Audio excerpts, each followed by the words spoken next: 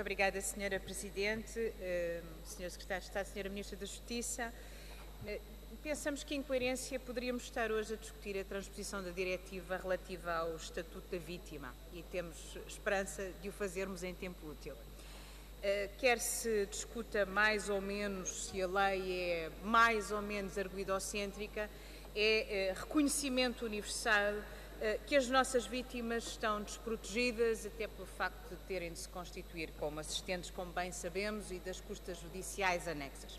Eu penso que esta é uma discussão urgente e que terá condições, porventura, para a trazer daqui a muito pouco tempo.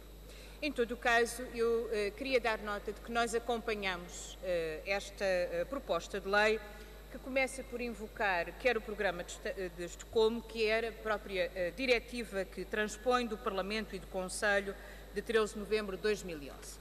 Falo, como aqui bem apresentou a Sra. Ministra da Justiça, ela tem por objeto as medidas de proteção adotadas nos termos da legislação de um Estado-membro, que podem ser alargadas a outro, eh, nos quais uma pessoa protegida eh, decida residir ou permanecer durante um determinado período de tempo, de acordo com a lei desse mesmo Estado e sem obrigação de alterar o seu uh, sistema de uh, direito penal.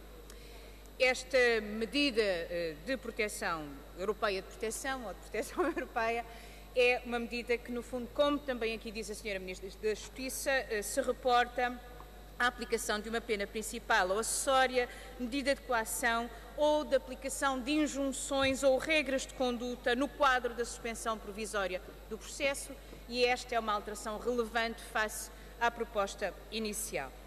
Uh, nós damos o nosso acordo global a, a, esta proposta de lei, reconhecendo a sua importância óbvia, sem prejuízo de alguns aspectos técnicos que possam ser melhorados na especialidade.